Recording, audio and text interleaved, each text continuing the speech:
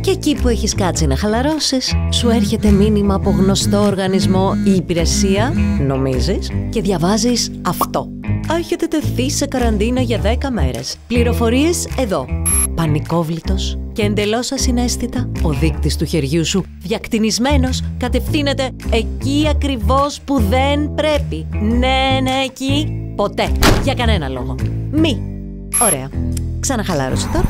Πάρε μια ανάσα και πριν κάνεις οτιδήποτε, θέσε μερικά απλά ερωτήματα στον εαυτό σου. Η ορτανσία κάθε πότε θέλει πότισμα. Ερωτήματα σχετικά με το θέμα μας εννοώ. Λοιπόν, πρώτον, γνωρίζεις αυτήν ή αυτόν που σου στέλνουν το μήνυμα; Α; Αν δεν είσαι σίγουρη, μπορείς πάντα να ψάξεις σε μια μηχανή αναζήτησης το όνομα ή την ηλεκτρονική διεύθυνση του αποστολέα.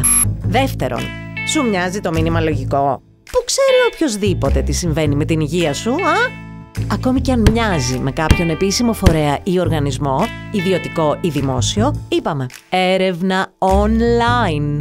Και τρίτον και σημαντικότερο, σε προτρέπει να πατήσεις ένα σύνδεσμο που δεν τον ξέρεις και δεν ξέρεις που ακριβώς οδηγεί. Για κανένα λόγο. Μην λέμε τα ίδια.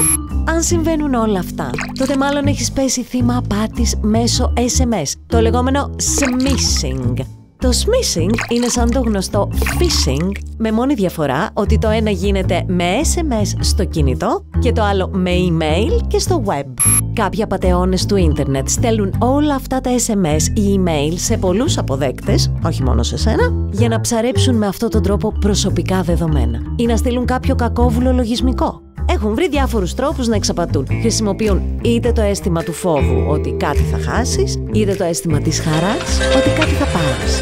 Σε τέτοιες περιπτώσεις να θυμάσαι πάντα ότι πρέπει να σκεφτείς ήρεμα, να μην κάνεις βιαστικές κινήσεις. Δηλαδή να μην πατήσεις κανένα link, κανένα σύνδεσμο, όπως το λένε, και να μην απαντήσεις σε κανένα email ή SMS που δεν είσαι σίγουρη από πού έρχεται. Κατανοητό; Να κόψεις αμέσως την επικοινωνία.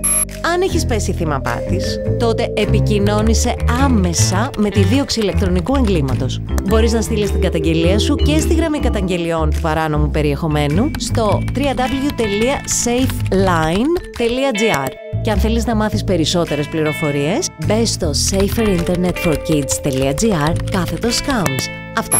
Και τώρα μπορείς ανενόχλητη να διαβάσεις το βιβλίο σου ή να ποτίσεις τα λουλούδια σου. Ακολουθήστε μας στα μέσα κοινωνικής δικτύωσης Facebook, Twitter, Instagram, YouTube.